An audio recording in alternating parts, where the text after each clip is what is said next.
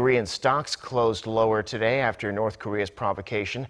The benchmark Kospi plunged more than 1% in the morning to 23.32, but recovered those losses in the afternoon to close at just under 23.65, down about a quarter percent for the day.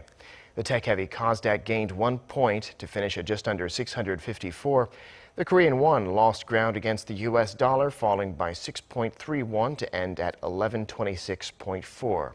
In an emergency meeting, the South Korean government, including the financial authorities, vowed to closely manage the geopolitical risks sparked by Pyongyang's continued missile launches and maintained round-the-clock monitoring system for the markets.